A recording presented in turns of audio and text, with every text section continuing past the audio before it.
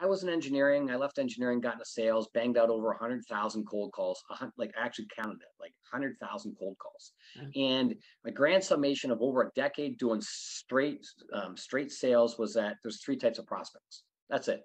No more, no less. It's cold prospects, warm prospects, and hot prospects. And and and so so when we're looking at this from from a system standpoint, like let's build a system for each. You know, like so many people that they try to cram everybody into one funnel.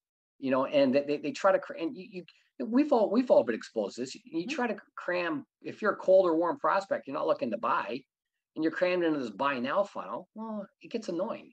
You know, and, and nobody likes that. So instead of that, it's like let's just talk to colds the way colds would want to be talked to. Let's talk to warms accordingly. Let's build a system to, to handle and, and nurture and warm the warms until they're hots. The hots we can close, you know, and the hots are happy to be closed. Like like somebody said before, Chris, um, I don't want to be chased until I'm ready to buy, you know, and, and um, so so it's it's we have three separate systems, one for colds, one for warms, one for hots. Hots are today's dollars, warms are tomorrow's dollars.